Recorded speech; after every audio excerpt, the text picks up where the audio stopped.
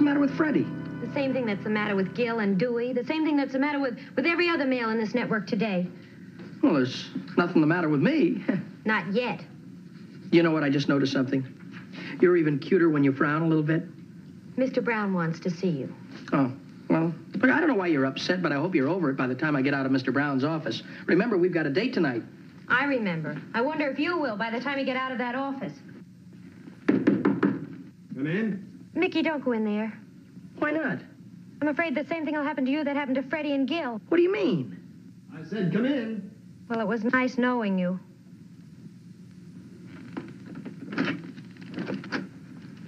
Close the door. Yes, sir. I have a special assignment for you.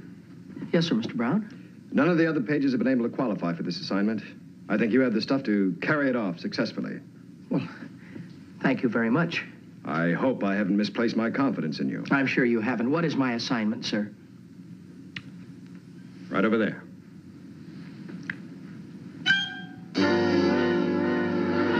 Saunders. In person? Hello there. Steady, boy. Mona Saunders. The shape. That's right. I just pulled the greatest stunt in the history of television. I signed the movie's number one box office attraction for her first appearance on television. Mona Saunders. Mulligan. Mulligan! Don't go to pieces on me, boy. You'll disqualify yourself. No, sir. I'm, I'm, not going to disqualify myself. Huh? Hey. Huh? Oh.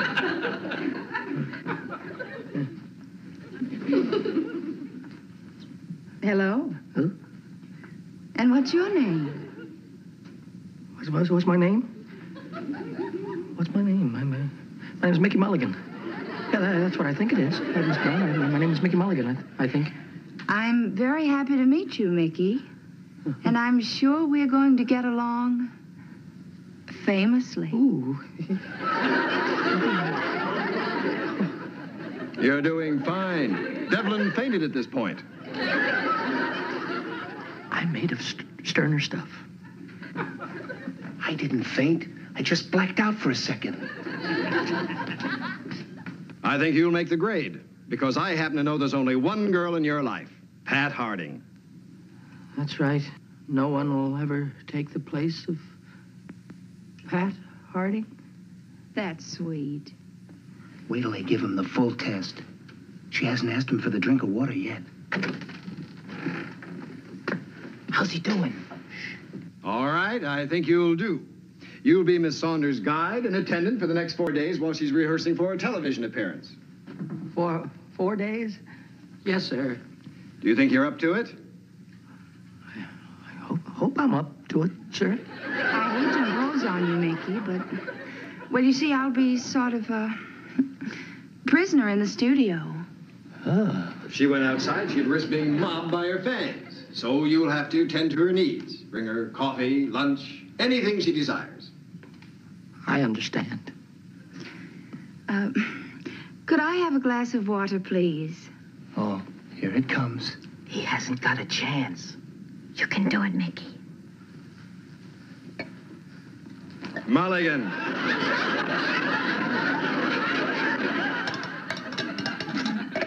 Steady, boy. Excuse, excuse me. Thank you, Mickey. He made it. Oh, what did you expect? You know, Miss Saunders, I remember seeing you in a picture once where you were sipping champagne just like that.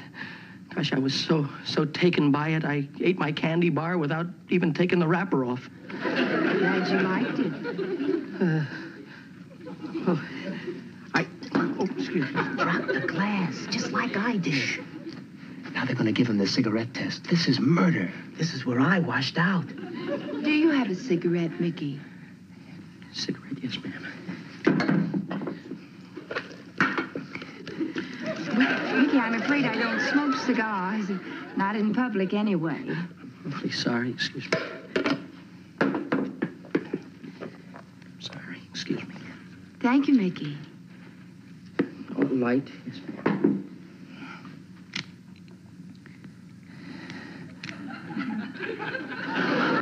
For heaven's sake, Mickey. Excuse me. This is your big test, and you're flunking it. I'm not going to flunk it, believe me.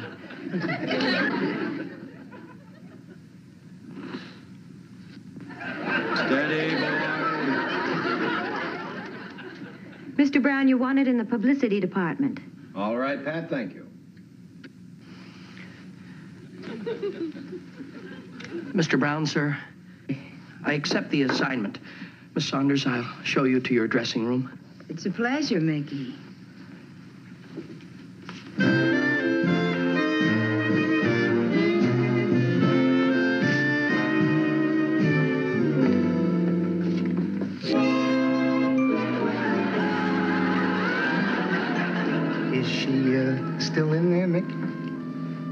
She's studying her script, Fred. You uh, think maybe I can uh, get a little peek inside, Mick? Not a chance. Oh, come on, Mick. Just one little peek. I, I want to rev up my morale for the rest of the week. Listen, I've been stationed outside here to see that Miss Saunders does not get bothered by anybody. Oh, come on. Let's not be a hog about it, Mick. All I want is one. No, no, no. Now, look, Fred, you're being very adolescent. She's just like anybody else, just a, an everyday person. Just like everybody else? That's right. Oh, come on now, Charlie. I have been stationed outside here to protect Miss Saunders' life and limb. yeah. What limbs? I haven't noticed. You haven't you haven't noticed? No. Oh, come on. You know what I think? I think you're falling for her. Fallen for her? That's right. Fred, look, all this is to me is just a job. It's nothing more than a job. Mickey, can you come in here, please? Uh, Right away, Miss Saunders. Steady, boy. Steady, steady. Freddie, I'll, uh, I'll go in now and, and go to work. Sure be glad when this day is over. You call for me, Miss Saunders? Mona, Mickey, Mona. M- Mona? Mickey, would you come over here and sit beside me? I need your help. You, you need my help for what? Yes. I wonder if you can help me read the script and read Brett's lines for me so I can see if I can remember mine. You're having trouble remembering your lines? Gosh, after all of those pictures you've been in? Movies aren't live television. uh, I guess it is pretty tough. Oh, I, I'm frightened. I, I just realized more people are going to see me in this one appearance than saw me in my last three movies. I, I never thought of it that way. I could look like an awful dope out there day after tomorrow. Well, I, I'm sure you can do it, Miss uh, Mona. I'll, I'll read Brett's lines for you. Okay, now let's set the scene, Mickey. Now I'm standing here in my shell-ridden southern mansion. You come through the door. I come through the door. Mhm. Now you're a southern officer returning from the Battle of Atlanta. Your right arm has been wounded, and you're carrying it in a sling, right? I see. Okay, Yeah. Let's go. Now I come through the door. Uh-huh. Right. I knock on the door. It says here, knock, knock, knock. Who's there? Can it be you, Brad? It's me, Lavinia, and I am home. Oh, Brett. You're wounded. Yeah.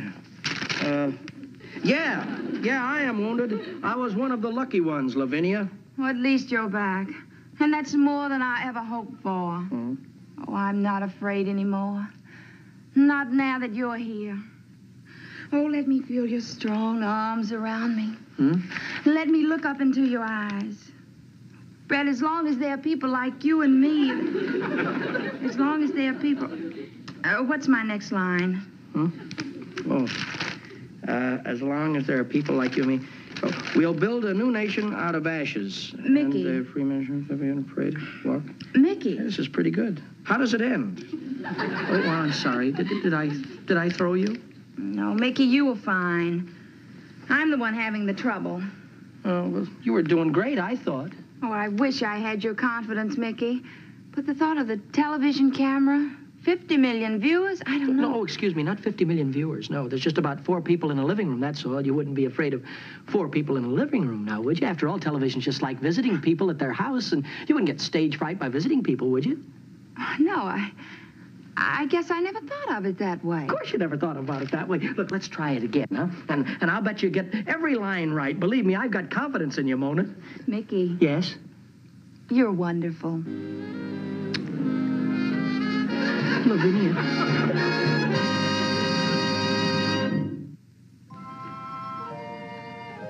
You didn't think it could happen to you, did you? You and the shape. I wonder if you should ask her to give up her career. Or maybe it'd be better if she went on with her career and you and you managed her. to Mickey. Gratefully with love. Lavinia. Imagine her falling for you. You're not exactly what people call handsome. No, but there's character there. Yes, even even magnetism.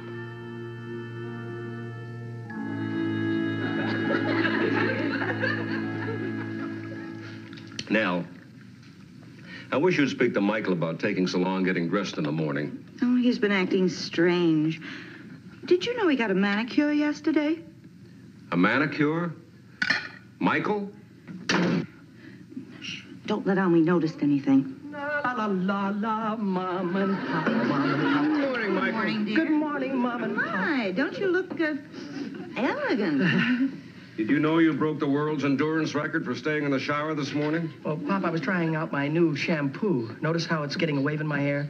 Say, now, do we have to there. have that fly spray with breakfast? Joe, I, I don't know what. It's you, Michael. Of course, it's my new aftershave lotion. Elegant, isn't it? Oh, it's fine. Really elegant. A little strong, isn't it? Say, how much did that manicure set you back? A dollar, but it's worth every cent of it, Pop. Michael, you're not touching your breakfast. I'm not hungry this morning. Not hungry. You usually eat like there's no tomorrow. What's the matter, son? Are you sick? Sick? No, I'm not sick, Pop. I feel fine. Sounds like love to me. Of course it's love. He's in love with Pat, but that never kept him from eating before. There's a few things that I'm not at liberty to tell you right at the present time, but I can say this. In the very near future, there's going to be a big event take place in my life. What are you trying to tell us? Does it have anything to do with that manicure? There's just one thing. You parents are going to have to realize that the day comes when your children grow up. Michael, are you going to get married? I'm not prepared to say. There are a lot of details to be ironed out.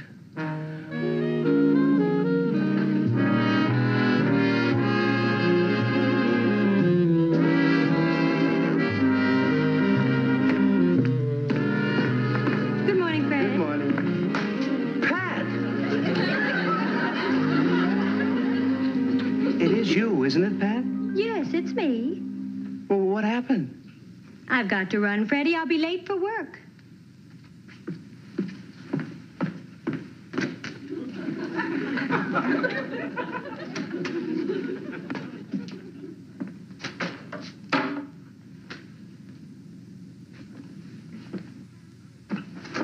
Say, Pat, Yes, Mr. Brown? I was wondering if you. You are Pat, right? My secretary? Yes, sir. Well, what on earth have you done to yourself? I've decided it's time for a little redecoration. But why? I'm fighting fire with fire. You mean Mona Saunders? Mickey's with her all the time. She's brainwashing him, and I've got to protect my interests. Oh, Pat, I'm sorry, but I'm afraid you're wrong. I was talking to Mona about Mulligan last night. She says he's doing a very good job. As far as she's concerned, I'll go on record as saying that Mona Saunders doesn't stand a chance of winning Mickey Mulligan away from you. Even if she wanted him, which she doesn't. do you really believe that? I'll bet my life on it. Oh, Mr. Brown. And, That's Pat, all right. well, I thought this was your day off, Pat. That's tomorrow. What are you all dressed up like that for? Don't you approve? Well, it's very nice, yes, but More for Mona Saunders, I suppose. yes, more for Mona Saunders. When it comes to tact. Oh. What did I say? Oh. Mickey, are those roses for me? What flowers? They're for Mona Saunders, aren't they? Well, to tell the truth, yes, they are. You see, Mona, she likes roses in her dressing room, and well, you can have them after she gets through with them, Pat. I wanted you to be the first to know. You see, when Mona met me, well, something magic happened. You might say that fate brought us together. It's my destiny. After all, Mona and me, zing. I appreciate all in the past that you have done for me, but I'm assured that in the future that we'll both think of you as one of our dear and loving friends. Say that you will.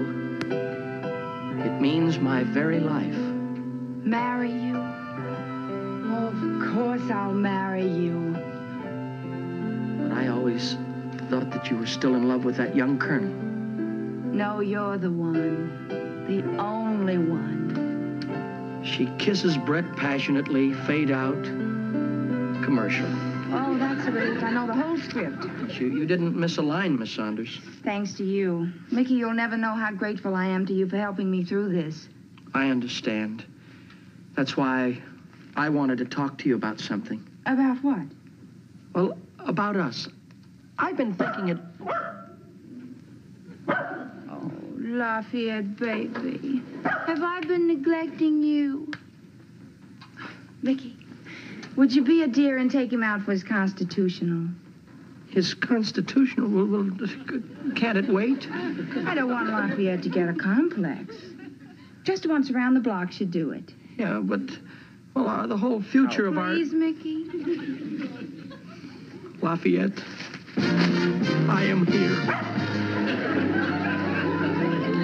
So that's the girl Michael's planning to marry, hmm? Say, that'd make me her father-in-law. Joe Mulligan, put down that picture and come back to our side. I just brought it to show you what type of woman Mickey's involved with. Unbelievable. Oh, that accounts for the manicure and the aftershave. I can still smell it. I never thought Mickey would fall for someone like that. It's impossible. Well, then why did he tell me he's going to marry her? Oh, Pat, just think for a moment. A big movie star like Mona Saunders wouldn't marry Michael in a million years. Oh, he's just infatuated with her, like any other red-blooded American boy. I don't like the way this Mona person is breaking up Michael and Pat. Yes, but what are we going to do about it? There's a lot we can do about it. Joe, get your hat. All right? Naturally, we're very upset. Mickey and I? That's absurd. Absurd or not, Michael's already told Pat that he's through with her. Oh, Mrs. Mulligan, I'm awfully sorry. But you see, Charles, it happens every time. I was sure Mickey was different. I didn't expect him to crack up. Do you mind if I finish putting on my makeup while we talk? Oh, that's all right, Miss Saunders. Go right ahead. Thank you, Mr. Mulligan. We have a camera run through in 15 minutes. Well, the question is, what are we going to do about this? Yes, after the show tonight, Miss Saunders, you'll walk right out of Michael's life. But where does that leave Pat? Mrs. Mulligan, I think too much of Mickey to hurt him. Well, you'll never know the help he's been to me. Don't worry, I'll take care of everything. I should have sent in a replacement for him this morning when I smell that aftershave lotion. Do you really think you can save the situation? I'm sure I can. It'll be a little rough on Mickey, but I guarantee it'll work. Miss Saunders, you're wanted on stage. Coming. Hope you'll pardon me. I have to change. But I'll take care of Operation Mickey right after the show. Thank you. Well, I'm happy to have met you, Miss Saunders.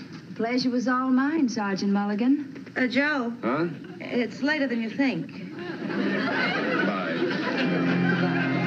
Good luck, Mona. Thank you.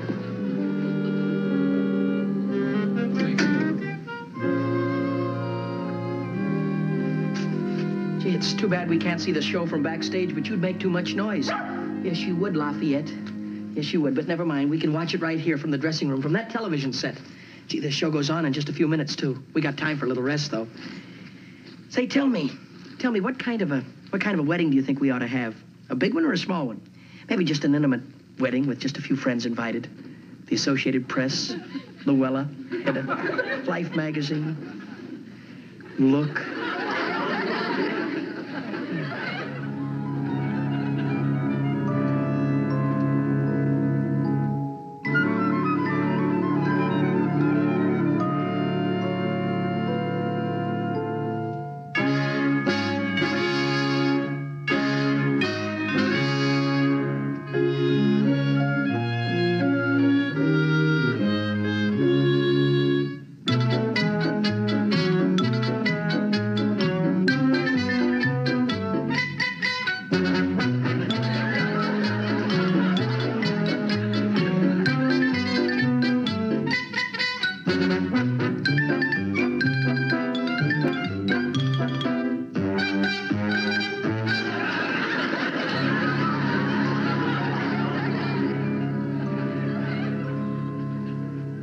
Mona. Mona.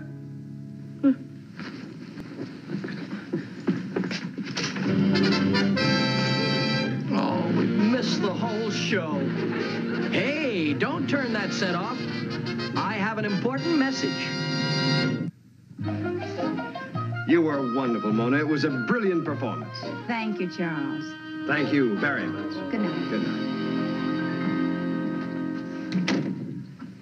And thank you, Mickey. What are you thanking me for? Because without your help and confidence, I never could have gone on tonight. Oh, well, you don't have to worry about that. You'll always have confidence because I'll always be at your side. It's strange, this wonderful thing that's happening to both of us. Well, what, what's happened to us? Well, it's hard to explain. It's just mystic and magical. Oh, really?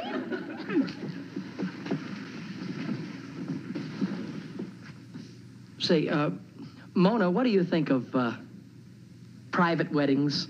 You know, with just a few intimate friends? And then, of course, we should have our honeymoon someplace along the Riviera. It would have to be the Riviera for someone as beautiful as you. I think the Riviera would be wonderful. That's the place, all right. You, me, and little Lafayette. Oh, I'm glad I don't have to wear this glamour 24 hours a day. What do you mean? Well, I was just thinking that, Oh, you know. Mona. Wait a minute. How about your glamour? What about our honeymoon? Well, I. Do you think we should take the children with us? Children? Mhm, I have two, a boy and a girl. Two children you have? Yes, and I think maybe we should go right over to my house now and tell my husband. Your Husband? The father of my children, yes. And I think he'll be very broad-minded about this. Oh, gosh, excuse me, Mona. I, I didn't realize. I didn't Mickey. think that. Mickey, do you honestly think you're in love with me? I, I don't know. You didn't fall for me. You fell for a million dollars worth of publicity, tons of makeup, and a wardrobe. Maybe you're right. Gosh, I. I must appear to be a. an awful fool to you. Now, don't say that. Listen, you gave me a tip that helped me with my television show. Now, let me give you one. Don't let Pat get away from you. Yeah, Pat. Thank you. Oh, Pat, I was just looking for you. I've been such a fool. Could you. could you ever forgive me?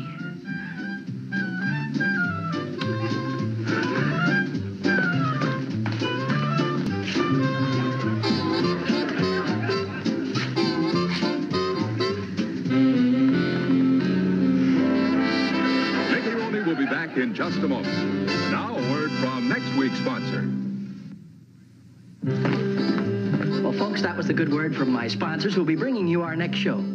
Be with us then, won't you? Incidentally, about Mona, I hope I never make a fool of myself like that again. I've learned my lesson. I'm never going to be starstruck again, believe me. Oh, Mick, Yes. Mona told me to give you this. Thanks, Gil. Her beautiful picture. It says, To Mickey with love, Mona. With love.